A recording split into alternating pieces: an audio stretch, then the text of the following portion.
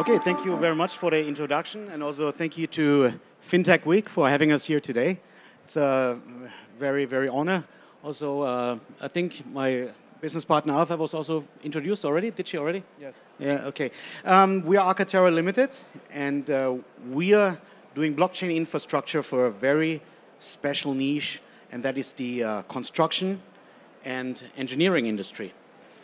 Um, now, actually, both Arthur and me, we have been uh, working in the blockchain solutions for many years, but just recently we decided to go into uh, construction and engineering niche for this Web3 project because we, we strongly believe that Hong Kong has been built on two pillars, right? Hong Kong's success has always been on finance. Uh, that's why we're here, I guess, fintech. And the other way to make big money in Hong Kong is construction. Uh, no doubt. I think actually this morning we were talking about how big is the construction industry in, in Hong Kong in total? So the Hong Kong uh, uh, construction industry is actually quite a massive industry. We're talking about $30 billion annually with a growth of 2.2% uh, annually. Solid, actually. Every single year has been 2.2%.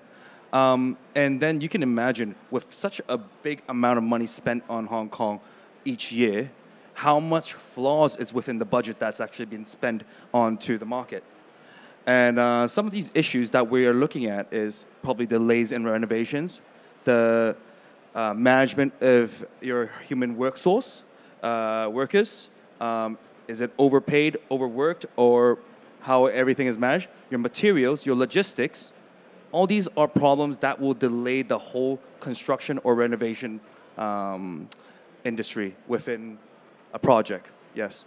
Which is quite interesting because what we just heard is such a massive industry but still there's i think this industry is very well known to have a lot of problems. The, and i think uh, you you actually you also work in the construction industry right? What is some common problems you, you encounter with is it with subcontractors or, or payments or?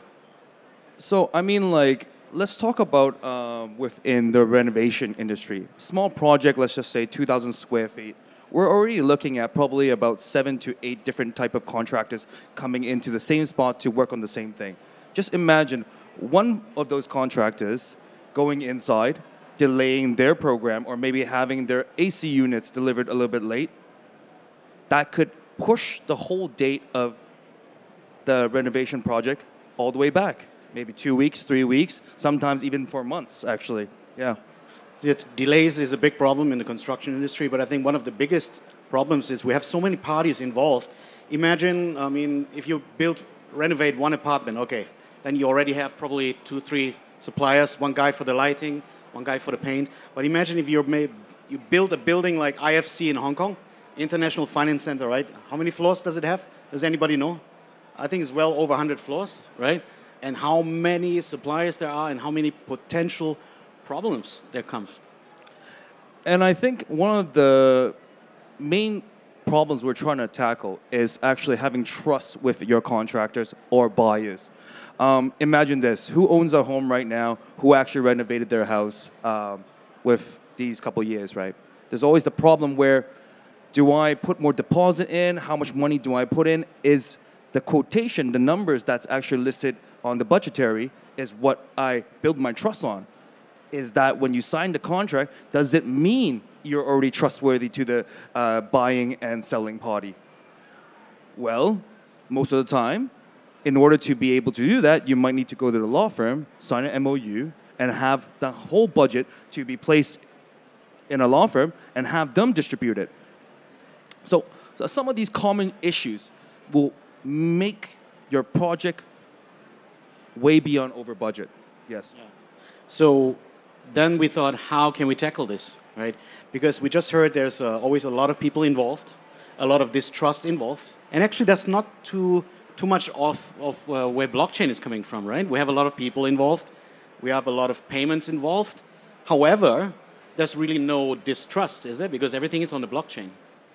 Yeah, and I mean, like, the trust part is very interesting. When you know there's a third party platform where it's entitled to the money, and through smart contract, we're able to distribute money to the contractor from the buyer based on work that's done. And the interesting part is because when work is done, when we use our smart contract, it can perfectly log in data and input these information where it entitles the program to distribute funds for, for the um, both parties. Yeah. Um, smart contracts, just for those of you who might not know about it, uh, I'll just very briefly introduce you. Smart contract is basically a computer code that lives and runs on the blockchain. Okay, um, it consists of a lot of if-then statements, and once they're deployed, they cannot be changed. This is where the, the trust comes from. Um, actually, in the background, you can see most of these uh, six pillars that Arcartera is working on for the blockchain uh, construction industry.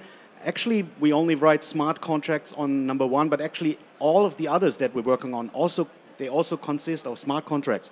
We have here supply chain management, uh, building information modeling, facility management, sustainability. Um, yeah, let's uh, very make an example for the smart contracts. How could that look like? Let's say I mentioned before if then, right? So if the wall has been painted yellow, then the payment is going to be released to the contractor.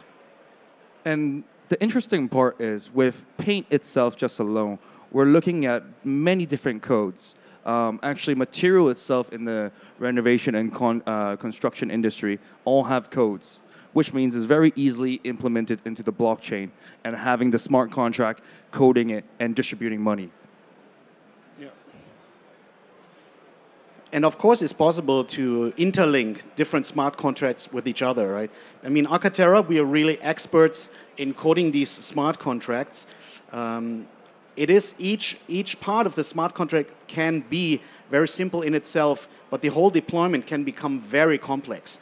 But in order to take the simple example from just now up again, we could say again, if the wall has been painted yellow, then the payment is triggered. But what if the payment is not yellow? Well, then the payment is not triggered, but then another smart contract could be picked up. And why would that be interesting?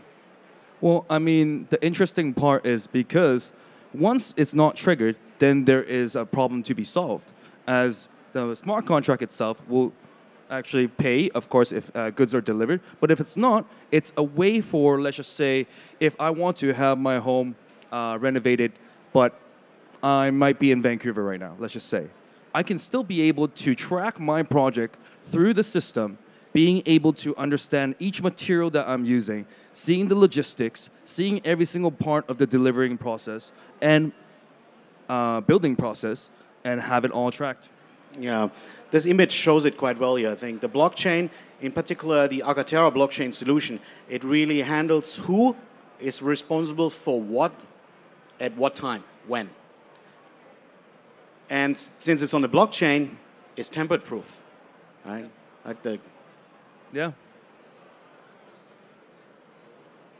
I mean, because uh, usually in the construction industry we have a lot of opposing interests, uh, rights and obligations, but all this has been handled by the blockchain. But also we have to come back. That's why it's so important in the beginning when you code the smart contracts that you go into all the details, because again, once the smart contract has been deployed, it cannot be changed anymore.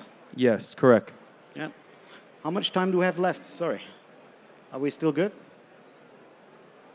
Where, where's so, the time? Um, I'll talk a little bit more about trust between uh, contractors and buyers, uh, which is a big problem uh, within the industry.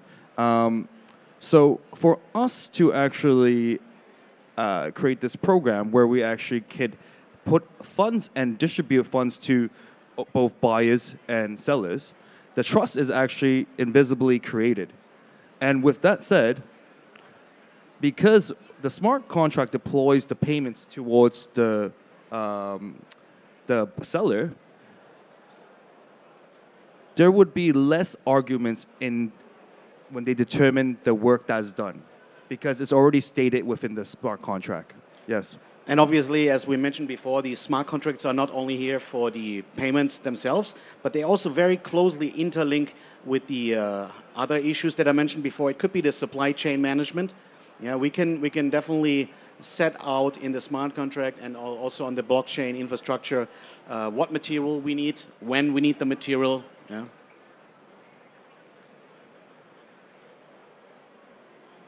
Actually, there is something called BIM for uh, if anybody from the construction industry. Now, BIM, Building Information Management, was originally supposed to bring uh, to tackle all these problems, right? So to bring the both parties together who maybe have opposing interests. But with BIM came up a new problem because BIM is basically a, um, a software which is supposed to handle these problems. But who takes care of the BIM? Is it a buyer side?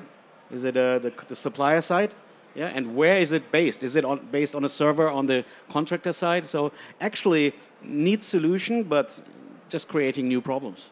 But we can actually put all the informations from the BIM uh, from the building information management onto the Arcartera blockchain. Hence, taking the advantages from something very existing right now and making it safe and future-proof.